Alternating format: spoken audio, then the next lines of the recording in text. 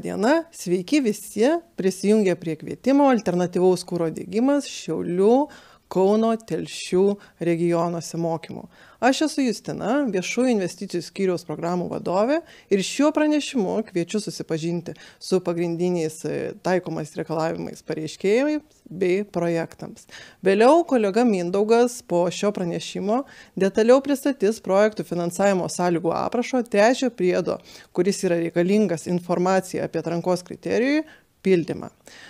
Na ir savo pranešimo metu pakalbėsiu apie remiamą veiklą, finansavimo galimybės, reikalavimus pareiškėjai. Tuomet uždėsiu pagrindinius akcentus, kaip nustatomas įmonės dydis ir kaip vertinami sunkumo patyrimo atvejai.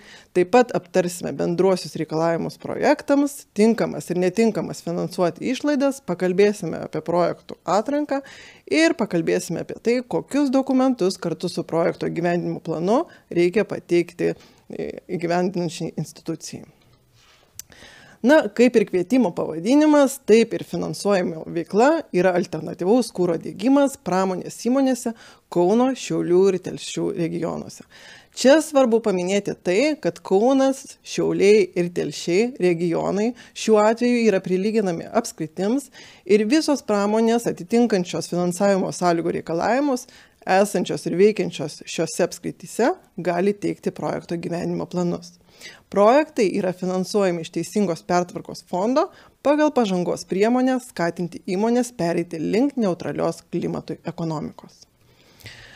Šiam kvietimui yra skirta iš tiesų didelė suma, tai yra virš 42 milijonų, 42 milijonai 7291 euras, tačiau numatytas tik vienas veiklos kvietimas. Iš suplanuoto biudžeto numatyta skirti iki 39 milijonų 906 tūkstančių su viršumi MVI statusą turinčioms įmonėms, tai yra labai mažoms, mažoms ir vidutinėms įmonėms, o didelėms įmonėms yra numatyta skirti iki 2 milijonų 100 su viršumi eurų. Ir kas labai svarbu paminėti yra tai, kad kvietimas yra skirtas pramonės įmonėms, kurios nėra dalyvaujančios ES apivartinės taršos leidimų platinimo sistemoje. Na ir didžiausia galima finansavimo suma vienai įmoniai yra iki 2 milijonų. Tuo atveju, jei įmonė veikia žuvininkystės ar akvakultūros sektorėje, įskyrus pirminę žuvininkystės ir e, akvakultūros sektorių, galima maksimali finansavimo suma vienai įmoniai yra iki 300 tūkstančių eurų. Mažiausia galima finansavimo suma 20 tūkstančių. Ir kas iš tikrųjų labai džiugu, turime tikrai aukštą finansavimo intensyvumą, tai yra iki 85 procentų nuo tinkamų finansuoti išlaidų, o valstybės pagalba yra teikiama valstybė, pagal valstybės pagalbos suderintą schemą, kurioje aiškiai nubrėžtos finansavimo ribos. Na ir jau skaidrėje prieš tai paminėjau, kad maksimali finansavimo suma yra skaičiuojama vienai įmoniai. Tai čia noriu atkreipti jūsų dėmesį ir uždėti akcentą į tai, jog viena įmonė nėra tolygų pareiškėjų viena įmonė apima visas įmones, kurių tarpusavio santykiai yra bent vienos rušies iš toliau išvardytų. Viena įmonė turi kitos įmonių akcininkų arba narių balsų daugumą, viena įmonė turi teisę paskirti arba atleisti daugumą kitos įmonės administracijos, taip pat pagal sutartį arba vadovaujantis teigimo sutarties ar įstatų nuostata, vienai įmoniai suteikiama teisė daryti kitai įmoniai lemiamą įtaką. Na ir dar vienas kriterijus, tai yra jo viena įmonė, būdama kitos įmonės akcininkė arba narė, vadovaudamasi su tos įmonės kitais akcininkais ar nariais sudaryta sutartimi, viena kontroliuoja tos kitos įmonės akcininkų arba narių balsavimo teisinių daugumą. Ir šiuo atveju vienos įmonės apibrėžimas atitinka ir susijusių įmonių apibrėžimą, kas yra pateikta bendrosios išimties reglamento pirmo priedo trečiame straipsnėje. Tai trumpai tariant, jeigu kvietime bus pateikti keli projektų gyvendinimo planai susijusių įmonių, tai maksimali finansavimo suma bus skaičiuojama šiems projekto vykdytojams bendrai. Na ir aptarkime pagrindinius reikalavimus pareiškėjams. Tai pradėkime nuo to, kad tinkami pareiškėjai yra pramonės įmonės, vykdančios pramonės ekonominę veiklą pagal ekonominės veiklos rūšių klasifikatorių priskirtina B sekcijai, įskyrus tos veiklos, kas susiję su durpių, naftos produktų, gamtinių dujų gavyba ir C sekcijai apdirbamoji gavyba, įskyrus tos veiklos, kas susiję su rafinuotais naftos produktais ir koksu, kokso gamyba. Taip pat įmonės negali būti patiriančios, patiriančios sunkumo, turi būti veikiančios ne mažiau kaip 3 metus, o metinės pajamos ir savos pagamintos produkcijos sudarytų ne mažiau kaip 51 procentą bendroje pardavimų struktūroje. Taip pat taikomas vidutinių metinių pajamų iš savos pagamintos produkcijos kriterijus ir per pastaruosius dviejus finansinius metus iki PIP projekto gyvendinimo plano pateikimo pajamos turėtų būti ne mažesnės kaip 300 tūkstančių eurų didelėms įmonėms ir ne mažesnės kaip 145 tūkstančiai MVI įmonių atveju. Taip pat jau kaip ir minėjau, įmonės negali būti dalyvaujančios ES apivartinių taršos leidimų platinimo sistemoje ir finansavimas gali būti skiriamas visiems pareiškėjams visose srityse, įskyrus veikiančius pirminės žuvininkystės ir akvakultūros, pirminės žemės ūkio, transporto, plačiajuošio ryšio ir energetikos ekonominės veiklos sektoriuose, kredito ir finansų įstaigoms ir skaidrėje nurodyto reglamento 9 straipsnėje nustatytus atvejus. Pažymėtina tai, kad šis reglamentas apibrėžia pagal Teisingos pertvarkos fondą remiamas veiklas. Na ir dar pasikartosiu kartą, kad pagal suderintą valstybės pagalbos schemą neremtini pirminės žuvininkystės, akvakultūros ir ūkio, pirminės žemės ūkio produktų gamybos sektorius. Pagal minėtą reglamentą Teisingos pertvarkos fondo lėšomis neremiama tabako ir tabako gaminių gamyba, perdirbimas ir priekyba atominių elektrinių eksploatacijos nutraukimas ar statyba, sunkumų patiriančios įmonės ir investicijos susijusios su iškastinio kūro gamyba, perdirbimu, transportavimu, platinimu, sandėliavimu ar deginimu. Ir čia taip pat norėčiau uždėti akcentą, jog bet koks įrenginys, kuris bent truputėlį naudotų iškastinį kūrą, negali būti sprendimas mūsų projektuose pakeičiant taršų kūrą. Na ir jau kaip e, paminėjau, prie, sunku, prie pagrindinių reikalavimų pareiškėjim, dar kartą pasikartosiu, kad šiame kvietime yra taikomi pajamų reikalavimai priklausomai nuo įmonės dydžio, tai ar būtų įmonė MVI, MVI ar didelė įmonė. Taip pat įmonės negali būti patiriančios sunkumo, todėl noriu truputį pakalbėti, kaip visgi reikėtų tinkamai įsivertinti įmonės dydį ir galima patiriamą, nepatiriamą sunkumų dydį. Tai prieš pradedant kalbėti apie įmonės dydį, pirmiausia, ką reikėtų atlikti, tai teisingai identifikuoti visas su pareiškėjų susijusias bei partnerinės įmonės. Susijusios įmonės tai įmonės, kurias sieja kuris nors iš šių ryšių. Turi daugumą dalyvių balsų, turi teisę skirti ir atšaukti daugumą kitos įmonės valdymo ar priežiūros organos narių, turi galimybę daryti lemiamą poveikį ir jau turėjimas 50 procentų akcijų suteikia veto teisę. Taip pat dėl sutarčių sudarytų su kitos įmonės dalyviais, dėl to paties fizinio asmens ar kitų veikiančių fizinių asmenų veiklos susiformavę šios dalies pirmame ketvirtame punktuose nurodyti įmonių ryšiai na ir kas svarbu paminėti tai jei susijusios įmonės ryšys susiformuoja per fizinį asmenį ar kartu veikiančius e, kelis fizinius asmenis įmonės jau laikomos susijusiomis, jei veikia toje pačioje arba gretimose rinkose. Bet jei fizinis asmuo vykdo ekonominę veiklą, rinkų aspektas nebėra nagrinėjamas, jis iš karto yra laikomas verslininkas, turi būti traukiamas į SVV deklaraciją ir priskiriamas susijusi įmoniai. Taip pat vadovaujantis Europos komisijos išaiškinimais vertinama, kad fizinis asmuo verčiasi ekonominė veikla, jeigu jis atitinka šiuos skaidrėje numatytus kriterijus. Tai yra, turi kontrolinį akcijų paketą, tai yra 50 procentų plus vienas balsas ir tiesiogiai dalyvauja įmonės valdyme. Yra vadovas ar valdybos narys.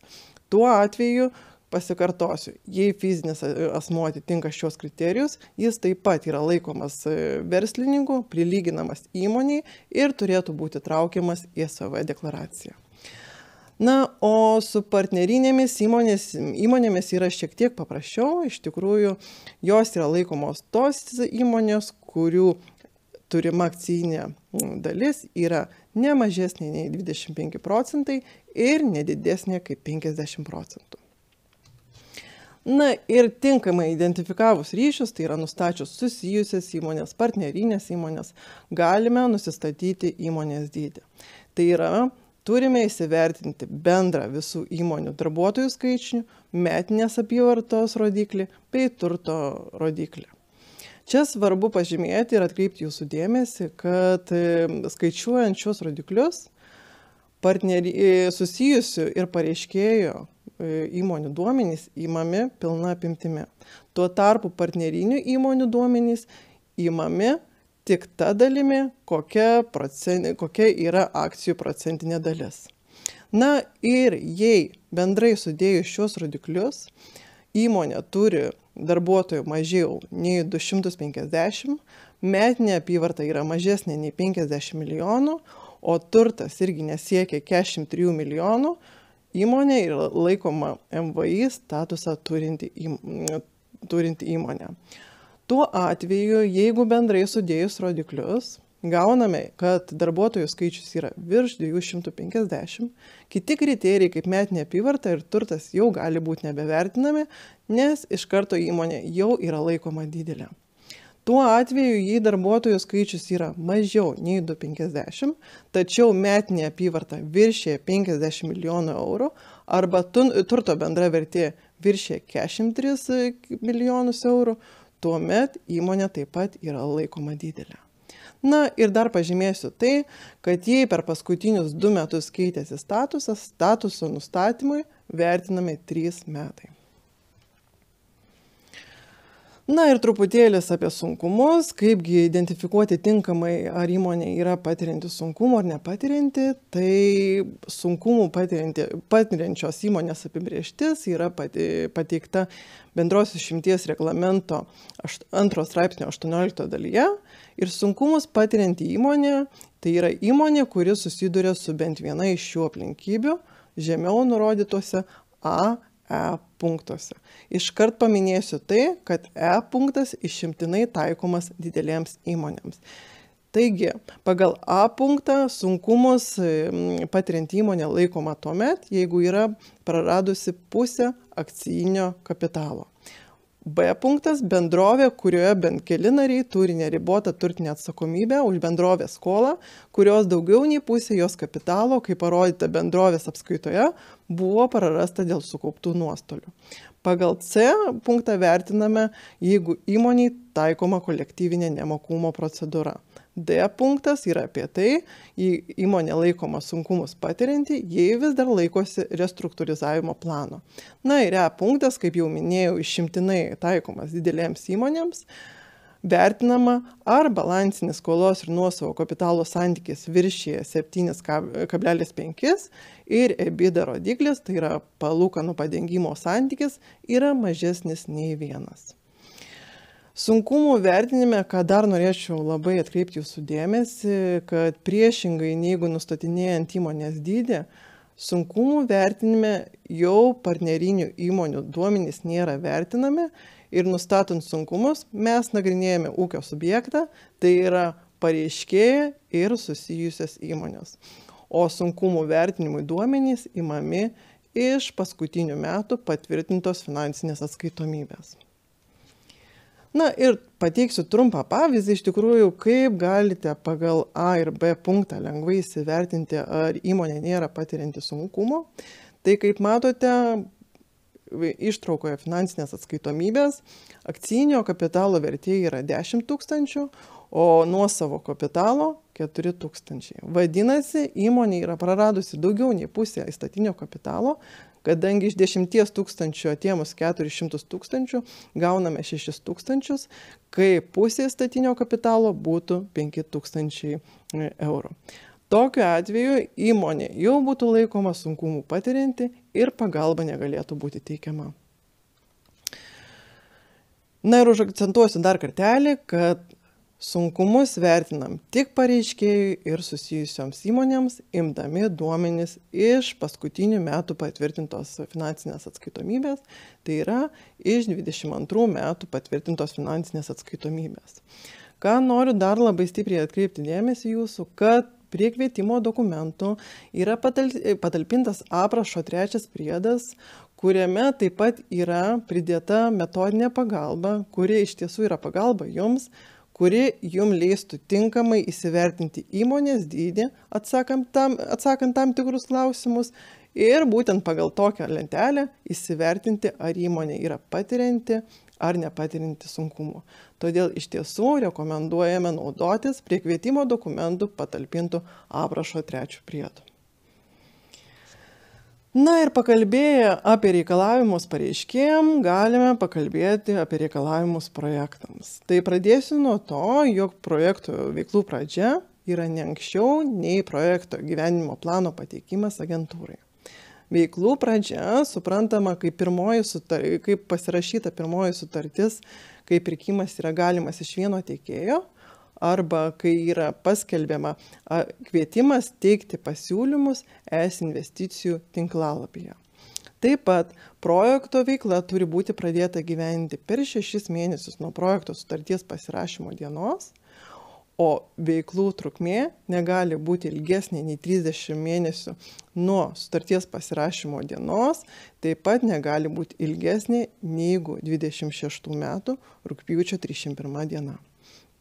Kaip jau minėjau, projekto veiklos įgyvendinamos Kauno, Šiaulių, Telšių regionuose, kitaip tariant, apskaityse. Ir kas iš tiesų labai svarbu, kad visos projekte numatytos veiklos turi atitikti energijos vartojimo audito ataskaitoje pateiktas rekomendacijas. Šis dokumentas, energijos vartojimo ataskaita, yra būtina pateikti su projekto gyvendinimo planu ir turėtų būti parengta ne anksčiau kaip du metai iki pipo pateikimo. Projektams šioje priemonėje taip pat yra privalomi keliami šeši stebėsnos rodikliai, kuriuos taip pat turėsite pasirinkti ir apie kuriuos informaciją turėsite pateikti projekto gyvendinimo plane. Tai du iš jų yra produkto rodikliai, kurie fiksuojami iš karto pasirašius projekto sutartį tai paramą gavusios įmonės bei paramą dotacijomis gavusios įmonės. Tuo tarpu yra keturi rezultato rodikliai privačios investicijos papildančios viešąją paramą, bendras metinis pirminės energijos suvartojimas, numatomas bendras išmetamas šias kiekis ir paramą gavusius subjektuose sukurtos tvarios darbo vietos. Atkreipsiu jūsų dėmesį į tai, kad rezultato rodikliai fiksuojami arba projekto gyvendinimo metu, arba po projekto gyvendinimo praėjus tam tikram laikotarpiu. Paskutiniai trys, tai yra bendras metinis pirminės energijos suvartojimas, numatomas bendras išmetamas šias kiekis, bei parama gavusis subjektuose sukurtos tvarios darbo vietos, rodiklis turi būti apskaičiuojamas įgyvendinus projektą praėjus metams dėl bendro metinio pirminės energijos suvartojimo rodiklio ir numatomo bendro išmetamo šias kiekio rodiklio praėj, po projekto gyvenimo praėjus metam turi būti parengtas energijos vartojimo auditas ar kita lygiavertė techninė dokumentacija, kurioje būtų apskaičiuota ir užfiksuota rodiklių pasiekta reikšmė na ir pakalbėkime apie tinkamas išlaidas. Tai pagal šią priemonę tinkamos išlaidos yra taršių technologijų keitimas mažiau taršiomis. Ir konkrečiau galima iškastinio ku galimas iškastinio kuro keitimas į AEI, tai yra šilumos siurblius, saulės kolektorius karštam vandeniui ruošti skyrus vėjo ar saulės elektrinių įrengimą elektros gamybai šios išlaidos yra finansuojamos su akumuliacinėmis talpomis jei jos įrengiamos šilumos saugyklomis vandeniui saugoti ir ar šilumai akumuliuoti. Taip pat galimas iškastinio kuro naudojimo mažinimas diegiant AEI, iškastinio kuro naudojimo gamybos procese keitimas AEI ar iškastinio kuro naudojimo gamybos procese keitimas elektra, paminėsiu tai, kad e, taikoma išimtis biokūro ir biokūro įrenginiai nėra finansuojami. Taip pat E, tinkamos finansuoti yra išlaidos iškastinio kūro naudojimo gamybos procese keitimas ir kogeneracinių įrenginių, elektros generatorių, naudojančių garą, karštą vandenį įrengimas. Taip pat tinkamos finansuoti yra šilumos triublių ir šilumos saugyklų, vandeniui saugoti ir šilumai akumuliuoti rengimas įmonėse, kuriuose šilumai gaminti naudojamos gamtinės dujos taip pat tinkamos finansuoti investicinės išlaidos įranga ir įrenginiai elektros iš AEI, išskyrus biokūrą gamybai, siekiant užtikrinti projektų metu dėgiamų įrenginių veikimą. Na ir tinkamos finansuoti visos išlaidos susijusios su įrangos sumontavimu, išbandymu, parengimu naudoti ir išbandymą jau matyt paminėjau. Netinkamos finansuoti yra tos išlaidos, kurių nebūsiu paminėjusi, taip pat netinkamos finansuoti išlaidos investicijos į materialų ir nematerialų turtą susijusių su esamos įmonės pajėgumo didinimu, įmonės produkcijos įvairinimu, kai įmonė ima gaminti naujus produktus arba esamos įmonės bendro gamybos proceso esminių keitimų. Taip pat Netinkamos finansuoti yra investicijos į atsinaujinančius energijos išteklius pagal skaidrėje nurodytą reglamento 41 straipsnį. Čia priminsiu, kad mūsų priemonės tikslas pasikeisti turimą taršų kūrą į mažiau taršų kūrą. Na ir viena iš įdomiausių temų tai yra projekto atranka, kaipgi jį vykdoma, kurie projektai laimi, kurie pralaimi. Tai iš tikrųjų projektai yra vertinami konkurso būdu, vertinami pagal tris prioritetinius kriterijus ir surinkusieji mažiau nei 40 balų nėra tinkami finansuoti. Kiti likę perlipę 40 e, minimalę ribą virš yra statomi eilę, reitinguojami ir finansuojami tie, kurie surinko daugiausiai balų. Paminėsiu tai, kad maksimali galima balų suma yra 100 balų. Minimali suma 40 balų. Na ir pasakant konkrečiai, kokiegi tie trys prioritetiniai kriterijai, dar kartą pasikartosiu, jog prie prioritetinių kriterijų vertinimo mes galime perėti tik tuo met, jeigu projektas ir pareiškėjas atitinka jam keliamus specialiuosius kriterijus. Taigi pasikartosiu, jog veiklos turi atitikti energijos vartojimo audito rekomendacijas, pramonės įmonės turi būti veikiančios ne mažiau kaip 3 metus ir negali dalyvauti ES apivartinių taršos leidimų platinimo sistemoje. Taip pat įmonėms yra taikomos, taikomi pajamų reikalavimai. Na ir prioritetiniai kriterijai yra apie tai, jog pirmasis kriterijus sako, kad e, bus skaičiuojamas projekto efektyvumas, tai yra santykis tarp pareiškėjo planuojamo sumažinti šiltnamio efektą sukeliančių dujų kiekio ir prašomos finansavimo sumos. Taip pat bus vertinami projektai ir jų siekiama sumažinti didesnį tiesiog ir netiesiogiai išmetamų šiltnamio efektą sukeliančių dujų kiekis Na ir projektų siekiama sukurti didesnį kiekį tvarių darbo vietų ir ne mažiau kaip 3 metus po projekto gyvenimo pabaigos jas išlaikyti. Kaip ir minėjau skaidrėje prieš tai, minimali privaloma surinkti balų suma yra 40 balų, maksimali galima 100 balų. Na ir iš tiesų prieinant prieš e, paskutinės dalies apie mano pranešimo dėl teikiamų dokumentų, dar prieš tai norėčiau Jums priminti apie nuosavo finansavimo šaltinius ir kokius dokumentus Jūs papildomai su projekto gyvenimo planais turėtumėt pateikti, kad būtų Jūsų pagrystas nuosavas indėlis.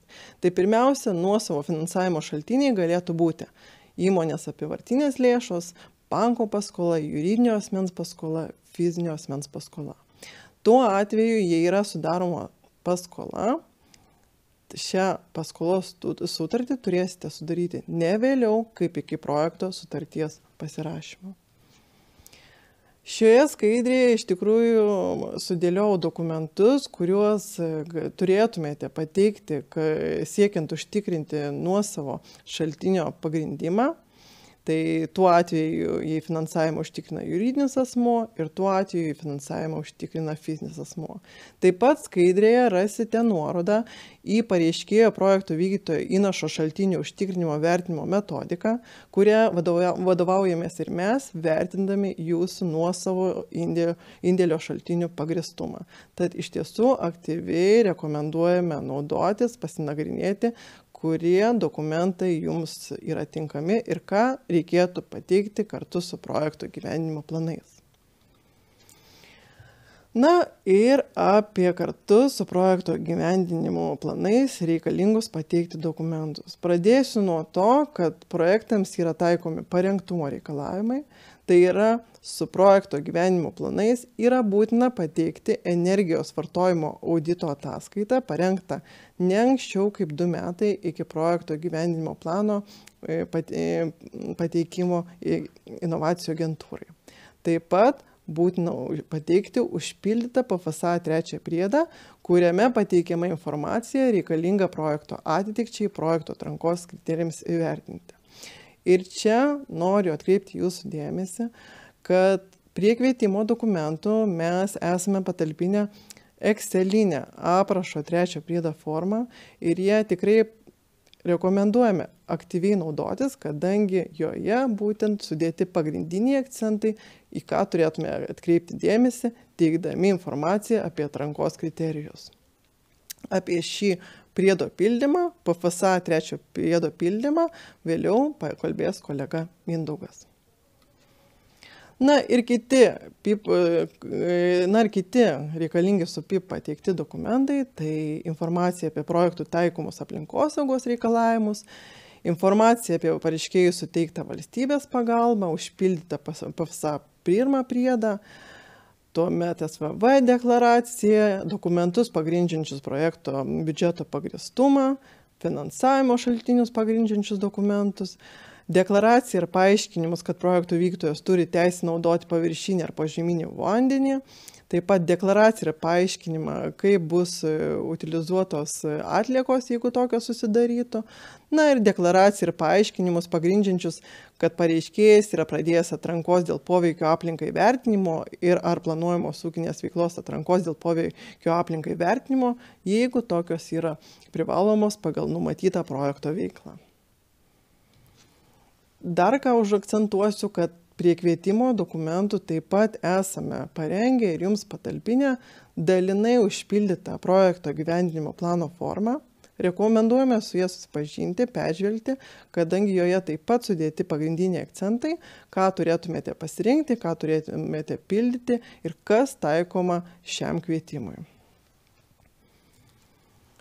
parengtas projekto įgyvendinimo planas su visais privalomais priedais pasirašomas kvalifikuotu elektroniniu parašu ad hoc formatu ir teikiamas L paštu es investicijos eta inovacijų agentūra lt. Pažymėsiu tai, jeigu pasirašyta, jeigu ad hoc dokumentą, tai yra parengta apie su lydinčiais dokumentais pasirašo įgaliotas asmo, kartu būtina pateikti vadovo pasirašytą įgaliojimą. Na ir atkreipsiu jūsų dėmesį tai, kad jeigu iki kvietimo pabaigos ir tuomet, kai jūs teiksite pipus, bus įsteigta ES investicijų administravimo informacinė sistema Investis, parengtas pipas kartu su lydinčiais dokumentais turės būti pateikiamas tik per Investis duomenų mainų sistemą. Papildomai elektroniniu paštu projektų gyvenimo plano teikti nebereikės. Na ir kaip atrodo viskas laikė. Tai kaip žinote, startavome Liepos 14, buvo paskelbtas kvietimas. Jūsų projekto gyvenimo planų laukiame iki rugsėjo 18 dienos.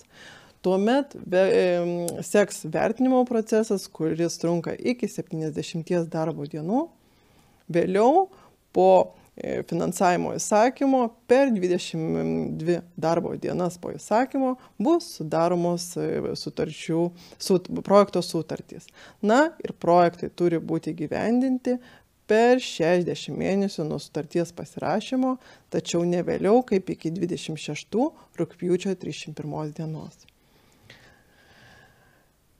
Kilus abejonėm ar klausimam, iš tiesų kviečiame drąsiai kreiptis konsultuotis visais nurodytais kontaktais šioje skaidrėje.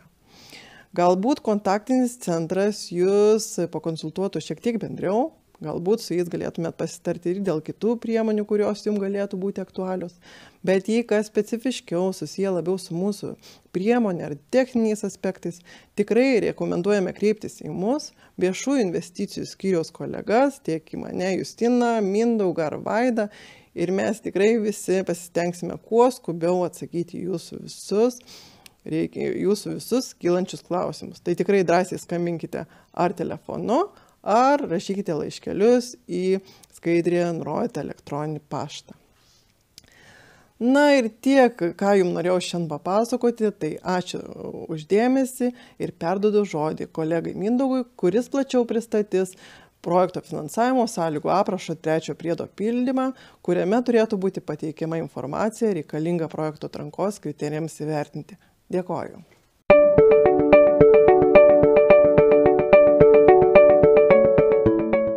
Labadiena, esu viešųjų investicijų skiriaus vyriausiasis projektų vadovas Mindugas Vainauskas ir šiandien jums pristatysiu projektų finansavimo sąlygų aprašo trečio priedo pildymo instrukciją. Tai pradėsime nuo pačios instrukcijos, tai yra paprasčiausiai yra užpildomi duomenys, tai yra pareiškėjo pavadinimas ir projekto pavadinimas. Toliau einame į sekantį lapą, tai yra veiklos ir pajamos. Tai 1.1 eilutėje nurodome, ar pareiškėjas dalyvavo ES apivartinių taršos leidimo prekybos sistemoje. Tai yra pažymėme ar taip arba ne. Toliau yra pildoma eilutė pareiškėjo vykdoma veikla pagal ekonominės veiklos rūšių klasifikatoriaus kodą ir nurodomos pajamos iš šios veiklos. Tai yra langelėje yra nurodoma veikla, kuri yra priskiriama pramonės veiklai ir jeigu yra e, gaunamos pajamos iš nepramonės veiklos, taip pat nurodoma pramonės veiklos kodas ir jos pavadinimas. E, pajamos turi būti pildomos 20 metų, 21 ir 22 metų. E, pildoma yra geltonai pažymėti langeliai. Toliau yra pildomos metinės pajamos iš savo pagamintos produkcijos. Tai nurodome būtent pramonės veiklos kodą ir pavadinimą ir nurodome gautas pajamas. Tai yra šiuo atveju nurodoma tik 21 metų ir 22 metų. Atkreipiau dėmesį, kad Šiuose langeliuose turi būti e, pardavimo pajamos sutapti su pelno nuostolio ataskaitoje esamomis pajamomis. Toliau, kiek procentų pareiškėjo bendro pardavimo struktūros sudaro pareiškėjo pajamos iš veiklų, tai yra apskaičiuoja formulė jau automatiškai. Todėl šios langelio pildyti nereikia. Toliau pereiname prie antro ir trečio CO2 mažinimo efektyvumo pildymo. Tai yra, jei jau audite yra apskaičiuotas bendras įmonės išmetamas šsd kiekis, tuomet jį mes įrašome, tai yra e, nieko pildyti nereikia, paprasčiausiai įmame iš energijos vartojimo ataskaitos. Jeigu kiekviena energijos rūšis yra atskirai, tuomet supildome geltonai pažymėtus langelius. Taip pat atkreipiame dėmesį, kad duomenys energijos vartojimo ataskaitoje turi būti megavatvalandėmis. Taip pat atkreipiame dėmesį, kad bei rekomenduojame atliekant energijos vartojimo auditą prašyti audite nurodinti bendrą visos įmonės išmetamą CO2 kiekį. Jeigu, sakykime, bendras bus nenurodytas, tada mes jums teikime kaip pagalba, tai yra skaičiavimo lentelė. Skaičiavimo lentelė yra padaryta taip, kad jūs paprasčiausiai suvedate bendrą energijos vartojimą pagal energijos rušis. Sakykime, sunaudojamas kysto kūro benzino kiekis 100 MWh per metus. Tuomet duomenys automatiškai jau suvaikšto į bendrą suvartojamą energiją ir bendramas išmestamas CO2 kiekis iki projekto automatiškai. Taip pat jis jau yra perskaičiuojamas CO2 pagal įvestus koficientus. Naudojami koficientai yra pagal pateiktą nuorodą. Taip pat toliau yra pildoma e, planuojama dėkti įrangą. Jeigu, sakykime, jūs planuojate dėkti įrangą oras oras, ir vėl yra, sakykime, suvedamas, kokie bus sutaupimai. Tai yra, sakykime, vėl, tai jeigu bus, sakykime, pagal audito informaciją sunaudojamos skysto kūro megavatvalandėmis per metus 50, tai yra 50 sutaupyta, tuomet jau skaičiai vėl automatiškai visur jums suvaikščios ir lentelėje bus parodomas sumažintas CO2 išmetamas kiekis įdėgus įrangą metai po projekto pabaigos ir sutaupytas energijos kiekis įdėgus įrangą metai po projekto pabaigos iš viso. Toliau pildome produkcijos po projekto pabaigos skaičių. Tai yra įvedame gaminio pavadinimą, sakykime, tai gali būti kokia, sakykime, šaldyta žuvis, tai bus skaičius tada tonomis. Jeigu, sakykime, produkcija yra apskaičiuojama vienetais, tai tuomet, e, sakykime, nurodome vienetais. Pavyzdžiui, žaislai. Toliau duomenys automatiškai mums šias lenteles suvaikščios. Tai yra, sakykime, nurodome šimtas vienetų ir automatiškai viskas mums pasiskaičiuos. Ši lentelė yra pildoma tam, kad jeigu būtų rodiklio nepasiekimas, mes galėtumėme įvertinti, ar dėl ko yra šitas rodiklio nepasiekimas. Toliau atkreipiame dėmesį, jeigu jūs užpildote skaičiavimo lentelę, tuomet jau energijos rūšis tiek antroje, trečioje bei ketvirtoje energijos taupimas lentelė užsipildo automatiškai. Tai yra, yra gaunamas santykis tarp pareiškėjo planuojama sumažinti šiltnamio efektą sukeliančių dujų kiekio ir įmonės išmetamo šiltnamio dujų procentais bei numatomas išmetamo šiltnamio efektą sukeliančių dujų kiekis per metus. Projekto teikiamo efektyvumas yra taip pat duomenys ateina iš lentelių ir yra įrašoma tik tais pareiškėjo prašomo finansavimo suma. Jeigu, sakykime, su įvedam 100 tūkstančių eurų, tuomet automatiškai išsiskaičiuoja santykis procentais tarp pareiškėjo planuojamo sumažinti šiltnamo efektą sukeliančių dujų kiekio nurodyto energijos vartojimo audito ataskaitoje ir prašoma finansavimo sumos. Kai yra užpildyti visi šie duomenys, tuomet pereiname prie tinkamų finansuoti išlaidų pagrindimo ir lentelės pildymo. Tai yra, nurodome tinkamas finansuoti išlaidas, tai yra, sakykime, ar šilumos siurblys ar kita įdėgiama įranga ir nurodome, kokį atitinka projekto finansavimo sąlygo aprašų punktą.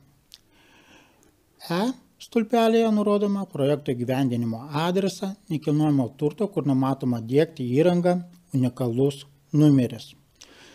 Taip pat atkreipiu dėmesį, kad daiktinės pareiškėjo teisės į nekilnojimą turtą, kurime įgyvendinant projektą bus vykdoma projekto veiklos, tai yra vykdomi statybos darbai, ar montuojama įranga, taip pat ar nekilnojamo turto valdymo formos nuoma ar panauda turi būti įregistruoti nekilnojamo turto registre. ir galioti netrumpiau kaip 3 metus labai mažų, mažųjų ir vidutinių įmonių kategorijai priskiriančioms įmonėms arba netrumpiau kaip 5 metus, kai projekto vykdytojas yra didelė įmonė nuo projekto finansavimo pabaigos. Taip pat atkreipiu dėmesį, kad regionai, kuriuose gali būti gyvendinami projektai, tai yra Kauno, Šiaulių ir Telšių regionai. Toliau yra užpildomas e, lentelė, tai yra projektų metu numatoma sukurti tvarių darbų vietų skaičius. Tai yra už, užpildomas 6.1 grafa, tai yra nurodome projekto įgyvendinimo metais tvarių darbo vietų skaičius, toliau nurodome tvarių darbo vietų skaičius, tai yra pirmieji metai po projekto įgyvendinimo ir nurodome trečiais metais po projekto įgyvendinimo. Ir F stulpelėje užpildome, tai yra kokie pateikiami, pateikiama informacija bei pagrindžiantis dokumentai. Ir toliau yra septintos bei aštuntos dalis, kurios yra kaip metodinė pagalba ir rekomenduojame jas pildyti siekiant tinkamai įsivertinti pareiškėjo įmonės dydį bei pareiškėjo patirimus nepatirimus sunkumus. 7.1, 7.2 bei 7.3 dalis yra pildo tik tais įmonės, kurios yra priskirtos mažų, mažųjų ir vidutinių įmonių kategorijai. Yra užpildoma būtent septinta grafa, toliau nurodoma, nubražoma schema ir užpildoma įmonės sunkumai pagal buhalterinius dokumentus. E, atkreipiu dėmesį, kad 7, 7.1, 7.2 ir 7.3 dalis nepildo didelės įmonės. Didelės įmonės pildo tik tais 8.1, 8.1, 8.2 ir 8.3 dalis. Ir atkreipiu dėmesio, kad e, didelėms įmonėms sunkumų vertinimas yra taip pat pildoma pagal reglamento 651-2014 antros straipsnio 18 dalies E punktą. Tai yra, šioje lentelėje yra būtent suvedami visi duomenys, tai yra įmonės pavadinimas, susijusi įmonė, toliau iš buhalterinės apskaitos dokumentų tai yra nurodomi rezervai, nepaskirstytas pelnas, nuosavas kapitalas, statinis kapitalas ir tada automatiškai yra išmetami duomenys ir toliau jau jūs matote atsakymą, ar įmonė patiria sunkumus ar nepatiria sunkumus. Tai būtų trumpai tiek apie trečio priedo pildymą. Ačiū ir lauksime jūsų klausimų bei iki kitų susitikimų.